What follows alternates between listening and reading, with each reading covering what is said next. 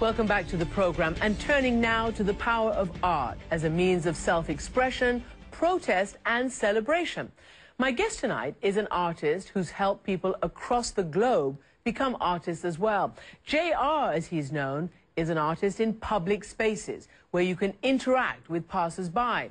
He started with graffiti art as a teenager in Paris, and then he began pasting huge photographs that he had taken, literally anywhere, on buildings, billboards, vehicles, and doors. In 2011, he received the prestigious TED Prize in California, and he won $100,000 to fund a special wish a way to change the world. So JR decided that his wish was to create a project called Inside Out. The photographer handing the camera to his subjects and letting them post their work wherever they want. More than 130,000 of these photos have been popping up in more than 100 countries. And JR recently came into this studio to talk about his own story and his latest project, now the subject of a coming documentary on HBO called Inside Out, The People's Art Project. JR, welcome to the program. Thank you. Welcome to your pictures. Welcome to this amazing uh, set. What is this all about? Why did you decide to poster huge pictures all over the world? You know, I started from graffiti. As when you do graffiti, you write your name to say I exist. When you paste a photo of someone, you put up his face to say he exists and then the journey started. It's really fascinating. And I was fascinated by what you did in Sierra Leone because you were in this slum area. Again, I've covered Sierra Leone. I saw it during the worst of the civil war. And you always feel so sorry for those youngsters who are condemned to mm. being beggars, being robbers, and, and, and feeling that they are nothing. How exactly. did they feel when you then made them somebody? You know, Sierra Leone or Liberia, uh, the different place I went for that project named Women Are Heroes, was really amazing because I was, I was waiting for people to tell me this is not a place for art. This is not a place for photos on walls. But I found the exact opposite. People are like, please do it here. Please, we want to show the image of us. We want to, you know, show some dignity on the wall. And it was about women there that most of the time suffer from conflict, but survive the conflict. And so I wanted to highlight them I'm going way. to play a little bit of the documentary which is about to air on HBO about Sierra Leone. Lion Base in Freetown. The group of boys that lived under a bridge. The community called them robbers, thieves, outlaws. They didn't even know their names. We pasted their faces along the bridge it had a very strong impact. For the first time, the boys had an identity. And I just think that's so important, this issue of identity that you yeah. keep bestowing on these faceless, nameless people.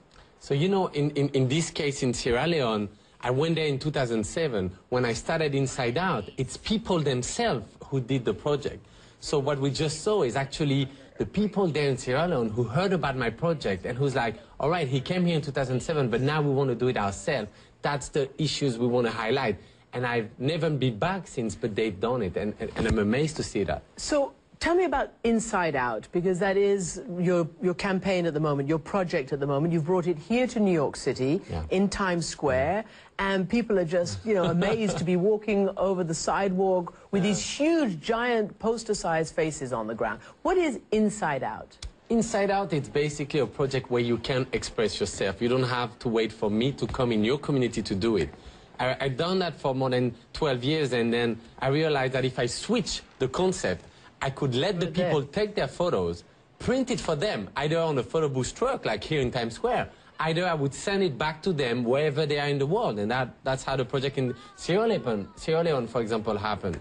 Uh, this, this, so you brought your own sort of printing exactly, booth, and then people, you know, lined up for, for, hours. Yeah, when when it's the case of the booth here, when it's online, you can send it and wait for it to come back. Then it prints in a couple of seconds, and either we ship it at your home directly, and then you paste it. So here in Times Square, we had the authorization by Times Square Alliance to cover the entire ground. Look at this sign. It's paste incredible. Here. People were like, no way, I can paste here. yeah, of course. And it's all about the interaction when you look at it. It's and you, you got people. onto the biggest billboard there, too. Yeah, the amazing thing is that there was an empty billboard, and the owner said, you can have it.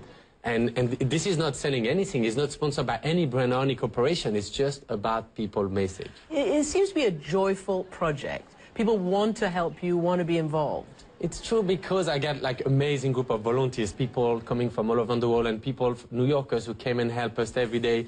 You know, it's not about how beautiful is the photo. It's about the interaction. We live in a world of social media where all interacts with social media, but when we are back to a real interaction of like, hey, let's paste together. Can you pass me the brush? Wait, I want to paste here. Oh, look at my face. Can you take a photo? Then you're back into interaction. Human Imagine, relations. Exactly. Imagine that in Sierra Leone, like you just mentioned, or, or the hundred of countries that Inside Out have been in, in less than a year and a half. Yeah. Some of the places that really struck me were some of the most troubled places. Uh, for instance, you posted a lot of pictures up on the dividing wall between Israel and the West Bank, between Israel and the Palestinians. Mm. What was that? Was that sort of like the cliche of, of here's a wall and we're just going to show how we're all together or not? So that was when I was still photographing myself. That was, I was pretty young at the time. I was 23rd. I was in, in 2007. And basically, this was photos of Israeli and, and Palestinian doing the same job. So I pasted the wall on both sides, but I also pasted in cities, and people would come to me and say, "What are you doing?" And I would show them my book and say, "No, this is, you know, this is just an art project." Oh, okay, okay, but who are those people? This is two taxi driver. One is Israeli, one is Palestinian. Then there would always be the silent. Because they and couldn't I, tell the difference. Exactly. And so, basically, where people told me, "You're gonna get, you know, kidnapped or arrested or killed for doing that," people were laughing because they couldn't see who is who. And then they would, you know, they would say, okay, let's try on another one. And I would paste another couple of portraits. And they wouldn't recognize also. So by derision through art and a little bit of naiveness, maybe, you achieve certain things that, you know, shows you that the limit is not necessarily when you seek there. It is remarkable. And then, you know, a lot of joy, a lot of cooperation in places like this, but a little bit of resistance in Tunisia, for instance, after the Arab Spring, uh, the Inside yeah. Out went to some of those countries, yeah. and I was struck by the one in Tunisia, whereby, sure, they put up these fabulous posters of young, ordinary Tunisians. Replacing and often, Ben Ali's Yeah, photos. Ben Ali, replacing the dictator. Tell me about your description of the space that they had for these pictures. You know, it was amazing because this was the first big Inside Out. So I went there to witness it, but I was not part of it. I just went there, look at those young Tunisians pasting their photos everywhere, covering the portraits. And they had a lot of reactions from the community, from the people, because people didn't know how to interact with those photos. Who are those portraits? Are there new dictators? We never saw art on walls. What is art? What do you mean by that? So their first reactions were to take it down. But what was really interesting, I thought this was a failure. But um, a man came and said, look, guys, you have the right to paste on the wall. Sure, they have the right to take it down. That's democracy. And we're just enjoying it for the first time. And he was right. Well, it's interesting that you're explaining to me because I was like, what is wrong with you guys? Why do you care whether pictures of ordinary Tunisians are up there? Why were people pulling them down? That shows you how much powerful is in, you know, is an image in the street. And out there, people, it was, the revolution just happened. People, there was no control in the street. People, they were just paranoid that something new happened. They had one face for, you know, years. And now that they could get back their world, they at least had the, the freedom of speech of saying who should be on it. And you know what? They're completely right. And that interaction was beautiful. It was really like interesting discussion and they managed to continue pasting, but they had first to explain to everyone in the street. So it was really interesting how you have, with art, you have to find the time to explain and, and, and do it with the people. What touched you the most? Uh, what made the biggest impression on you in this project? You know, for years, I have been going into those places, and people would tell me, yeah, but you decided to go there. Maybe they want it, maybe they didn't want it. By not going there, I'm just sitting at home and I'm like, look, it's happening in 10,000 cities as we're talking, in 100 countries, and it's the people who decided where. In really rich places, in really poor, in school, in, in a conflict zone, a guy in Iran would go in jail for that, a guy in Russia would get arrested. They really took those images to another level. It became their project, and I'm just the enabler. So Inside Out became like a platform. That, that's what's really amazing me in it. And I have to ask you, because you're sitting inside in my studio, why are you wearing glasses and why do you go by the name JR, which is not your real name? Exactly, because, you know, when I started, I started as a graffiti writer, so you have to hide. And most of the project I've done throughout the years was without authorization.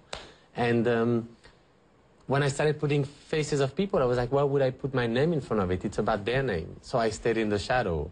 And when I'm in Times Square, everyone can come to me. I take photos and I walk with people even in the communities, but I don't see what I would gain from being recognized in the streets uh, uh, when I walk outside. So Can I, I, can see take your off. eyes? You can see them right after. All right, JR. Thank you. Nice to meet you. You